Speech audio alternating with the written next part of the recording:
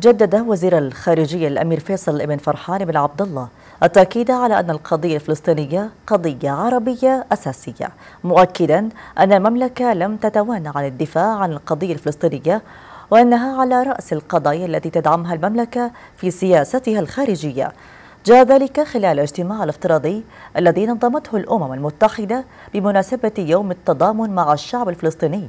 على حقه في تقرير مصيره حيث أكد المشاركون إلى ضرورة العودة إلى مفاوضات جادة تنهي الاحتلال وتفضي إلى إقامة دولة فلسطينية ووقف الاستيطان الإسرائيلي وإنهاء الحصار على غزة.